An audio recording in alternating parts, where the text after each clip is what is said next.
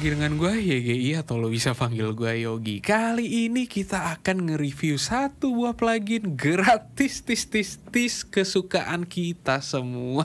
Tapi ini dibuat oleh Hafiz Joyce. Jadi dia terkenal dengan style popangnya dia. Dia membuat satu buah plugin drums yang simple banget. Suaranya udah bagus.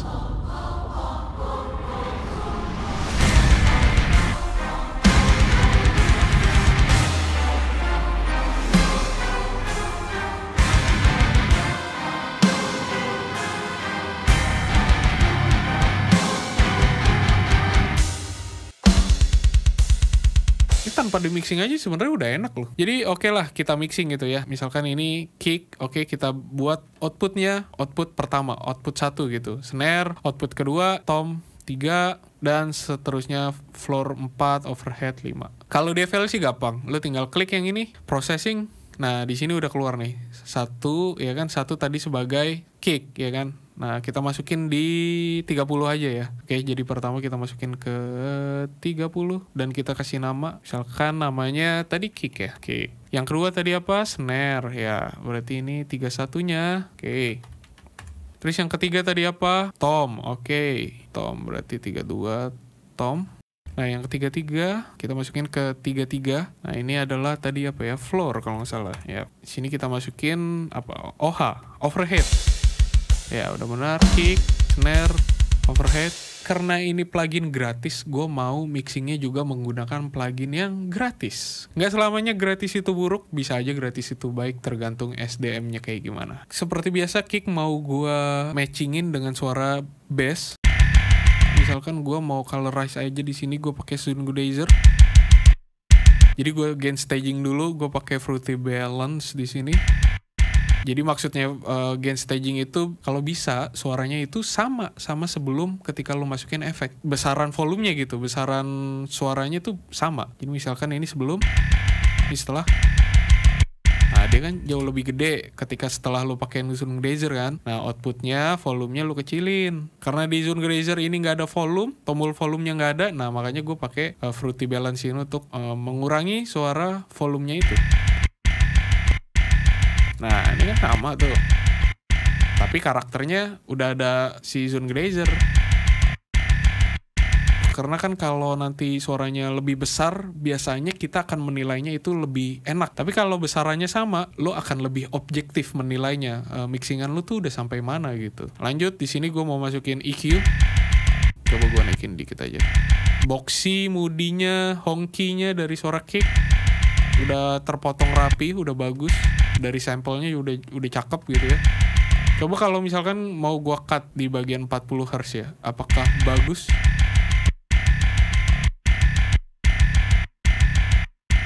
Ternyata enggak ya. Kadang ada beberapa kasus yang kalau misalkan lo cut di bagian 40 Hz gitu, itu suaranya jadi lebih enak, lebih bulat suara kicknya. Tapi kadang juga ada kayak gini kasus kayak gini, misalkan gua cut lo, kok malah jadi low-nya malah jadi kayak kurang tebel, kayak kurang bulat gitu. Nah itu itu tergantung kasus tuh. Ada yang kasusnya di cut jadi lebih baik, ada yang kasusnya di cut malah jadi nggak enak. Nah seperti kayak gini nggak enak di cut, jadi gua nggak pakai cutnya.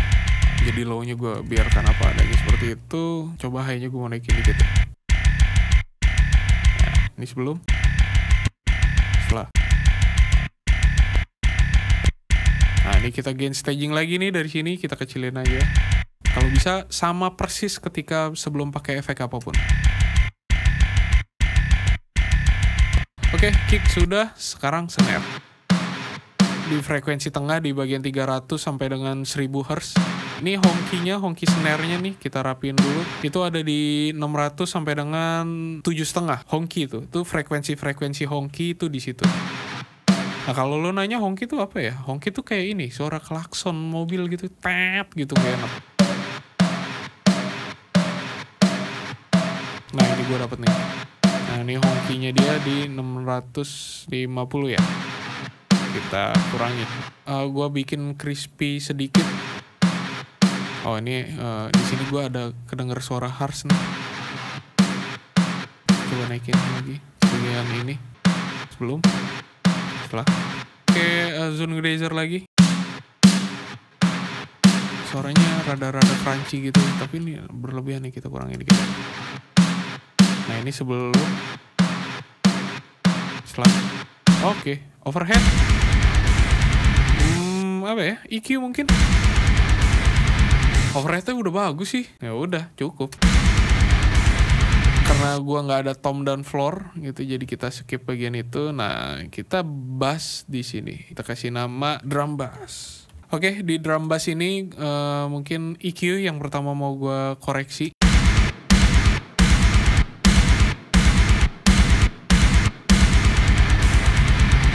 snare tuh enak banget deh dia. Terus selanjutnya di sini Fruity Overdrive. Nah, ini biar biar ada saturasi gitulah.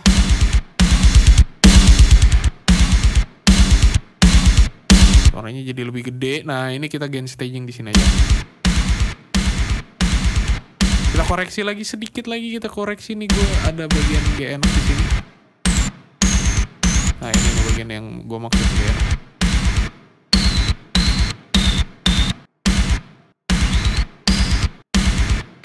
kalau misalkan kita bikin kreatif.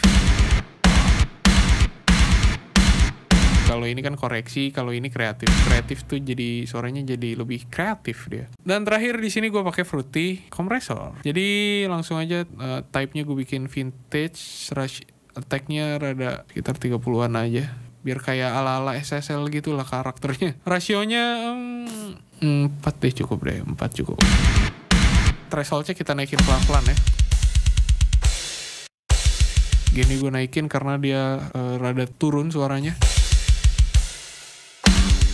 Oke ini sebelum pakai kompresor. Setelah.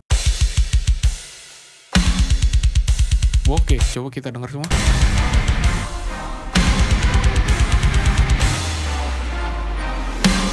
Bangsat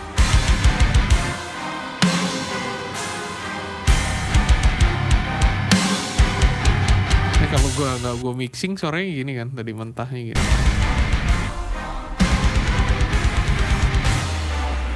Setelah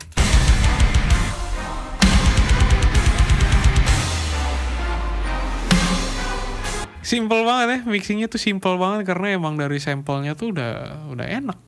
gue berterima kasih banget nih sama orang-orang yang bikin plugin-plugin gratis kayak Om Agus, si Hafiz. Gue nggak tahu ya, mungkin ada gitu, tapi gue nggak tahu gitu. Tapi gue berterima kasih banget sama orang-orang yang berdedikasi kayak gitu gitu, karena itu tuh kerjaan yang mulia lah menurut gue.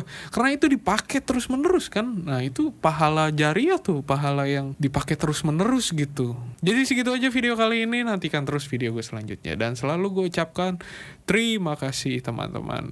Wah.